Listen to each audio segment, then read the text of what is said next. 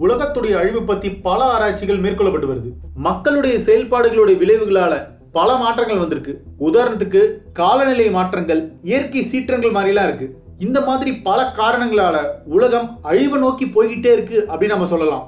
உலகத்துடைய அழிவு இப்படிதான் இருக்கும். இத்தனை வருஷங்கள் கழிச்சு தான் உலகம் அழியும் அப்படின்னு பல விஷயங்கள் பரவலாக பகிரப்பட்டு வருது. அந்த வகையில் உலகத்துடைய அழிவை கணக்கிடுற ஒரு முக்கியமான டிவைஸ் தான் டூம்ஸ் டே கிளாக் இந்த அபூர்வமான கடிகாரம் பத்தி தான் இந்த வீடியோல பார்க்க போறோம். உலகத்துடைய அழிவுக்கு இன்னும் எவ்வளவு காலம் மீதம் இருக்கின்றதை சுட்டிக்காட்ட உருவாக்கப்பட்டிருக்கிற ஒரு கடிகாரம் தான் இந்த டூம்ஸ் டே கிளாக் இது சாதாரண கடிகாரம் மாதிரி செயல்படாது. புல்லட்டின் ஆஃப் அட்டாமிக் சயின்டிஸ்ட் அப்படின்ற ஒரு குழுவை சேர்ந்த ஆராய்ச்சியாளர்களும் நிபுணர்களும் சேர்ந்து இந்த டூம்ஸ் டே கிளாக்கை உருவாக்கி இயக்கிட்டு வராங்க.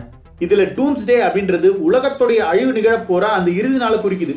இதை அறிவியல் மொழியில அப்போகலிப்ஸ் அப்படின்னுவாங்க. இந்த கடிகாரத்துல அழிவுனால மிட் நைட் அப்படின்னு குறிப்பிட்டிருக்காங்க. கேட்கறதுக்கு கொஞ்சம் வினோதமாகவும் வித்தியாசமாகவும் இருக்கிற மாதிரி தோணலாம்.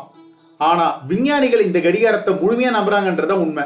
ஆயிரத்தி தொள்ளாயிரத்தி நாற்பத்தஞ்சுல இருந்து இந்த டூம்ஸ்டே கிளாக் செயல்பாட்டில் இருக்கு. அந்த கடிகாரத்தோட முள்ள அந்த குழுவை சேர்ந்த ஆராய்ச்சியாளர்கள் அந்தந்த காலநிலைக்கு ஏற்ற மாதிரி கணக்கிட்டு நகர்த்தி வைப்பாங்க. அந்த கடிகார முள்ள எவ்வளோ நகர்த்தணும் அப்படின்றத கணிக்க ஒவ்வொரு வருஷமும் அந்த குழு கூடி ஆலோசனை பண்ணும்.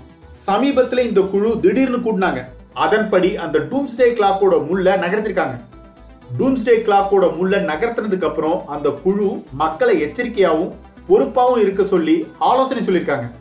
ஆயிரத்தி தொள்ளாயிரத்தி நாற்பத்தி ஏழாவது வருஷம் இந்த டூம்ஸ்டே கிளாக் அறிமுகம் செய்யப்பட்ட போது பூமியோடைய அழிவு நாளுக்கு இன்னும் ஏழு நிமிஷங்கள் தான் இருக்கிற மாதிரி அதோடைய முள் வைக்கப்பட்டுச்சு.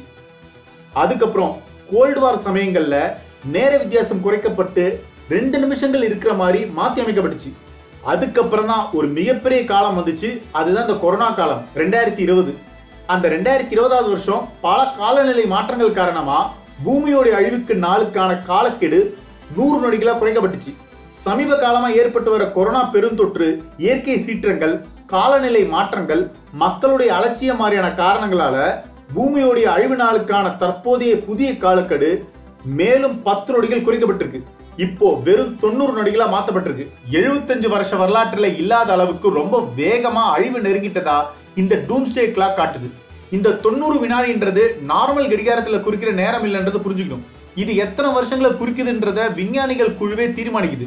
அடுத்த பத்து அல்லது இருபது வருஷங்கள்ல இந்த முள் திரும்பவும் நகர்த்தப்படலாம்.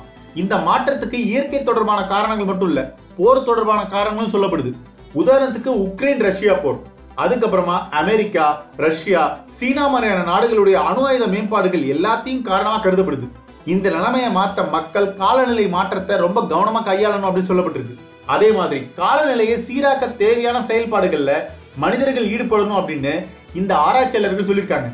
இன்னொரு பேண்டமிக் வராத வகையில் எச்சரிக்கையாக இருக்கணும்னு உலக நாடுகளை இந்த ஆராய்ச்சியாளர்கள் குழு இப்போவே அறிவுறுத்திருக்காங்க.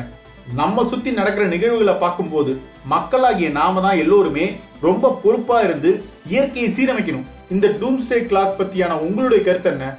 மனிதர்கள் பூமியை காப்பாற்ற என்ன மாதிரியான முயற்சிகள்லாம் செய்யலாம் அப்படின்ற உங்களுடைய கருத்தை கமெண்ட் செக்ஷனில் கமெண்ட் பண்ணுங்க.